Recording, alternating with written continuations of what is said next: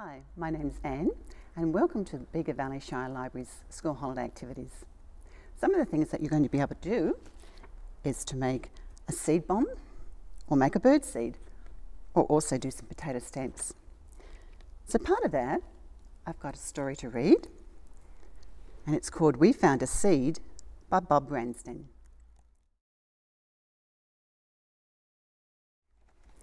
This is us.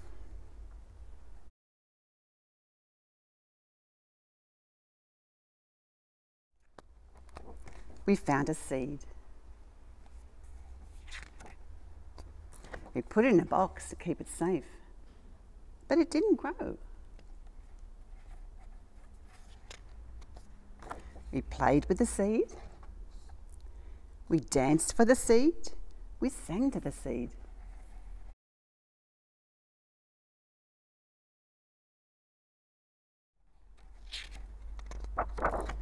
It didn't grow. We asked the seed what must we do. We listened and we waited and then we heard.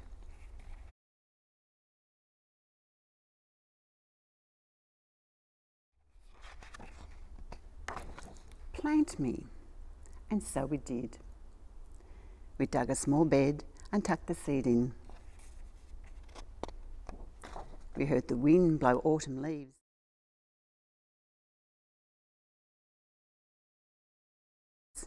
Did the seed hear it too? We felt the icy winter rain. Did the seed feel it too? We were warmed by the sun in the early spring. The seed was too, it grew. And it grew, and it grew. And it grew.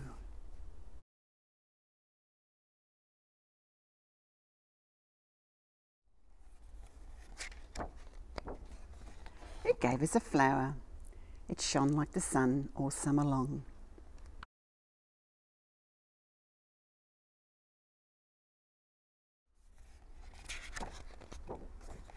Autumn came. Our flower died and we were sad, but it left us a gift. It gave us seeds and we knew just what to do.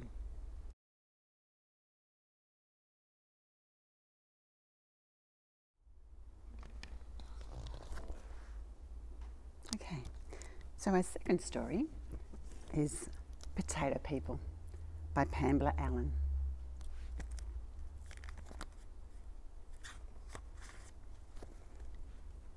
Every Friday, Jack's mother works, and every Friday, Jack spends the day with Grandma, and this is Grandma's house.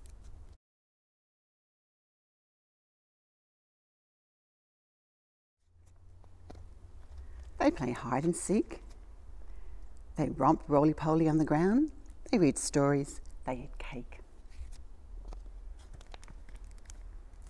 One Friday, the clouds were big and black, and the rain dribbled down the window panes and rattled on the tin roof. It's raining, sighed Jack. I know, said Grandma.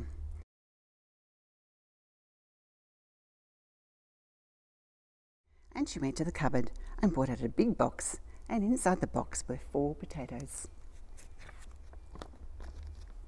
I'm going to make a little potato man, said Jack. And I'm going to make a little potato woman, said Grandma. And they did. Got some wool, some pretty fabric, a bottle top, some toothpicks, pins with knobs. Grandma placed them carefully on the window windowsill. There, said Grandma.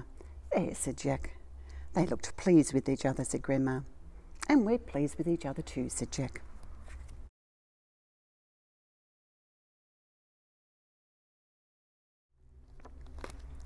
Then one day, Jack and his mother had to go away for a while. That Friday, Jack didn't come. He didn't come the Friday after that, or the Friday after that. Lots of Fridays went by, and still Jack didn't come to visit Grandma.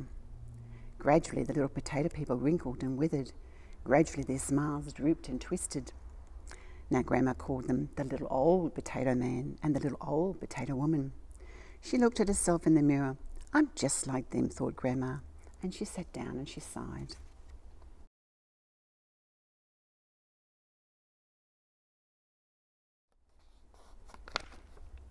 One day, a stalk sprouted on the head of the little old man. He's growing horns, thought Grandma. Then a stalk sprouted on the head of the little old woman. She's growing the horns too, thought Grandma. The horns grew and grew. At last, Grandma could bear it no longer. She said goodbye to the little old potato man and the little old potato woman, and she buried them outside in the compost heap. But Jack didn't know because Jack wasn't there. Soon a shoot appeared above the ground, then another and another, and up they grew, up and up they grew, until they were so high that Grandma couldn't see over the top.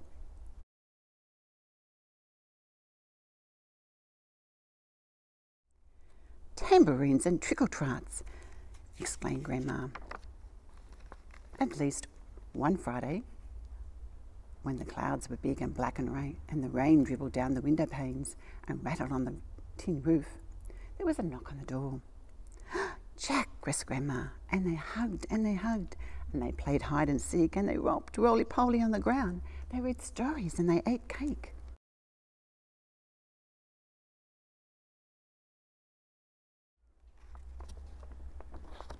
Grandma asked Jack, What happened to our little potato people? I buried them outside in the compost heap, said Grandma, and they grew and grew. Let's go and have a look, said Jack. So they put on their raincoats, put on their gumboots, and went out in the rain to see.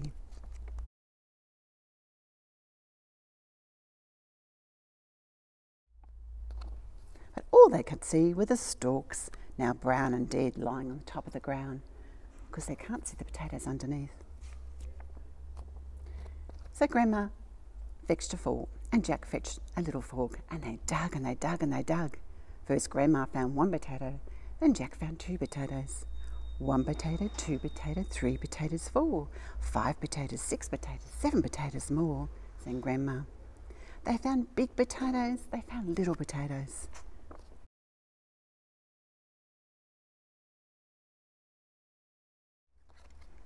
Soon there were hundreds and hundreds of potatoes. Tambourines and trickle tarts, exclaimed Grandma. When there were no more potatoes left to dig, they hung up their forks, took off their raincoats, put away their gumboots, washed their hands, and Grandma dried her hair.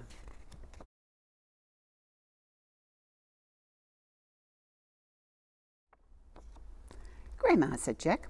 Yes, said Grandma. Let's make a little potato man and a little potato woman.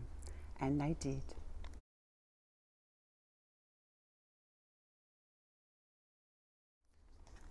That was a lovely story too, wasn't it? Well, you too could make your own potato people, or maybe you could have a go making potato prints to make a wrapping paper for a gift or a present. Let's try, okay?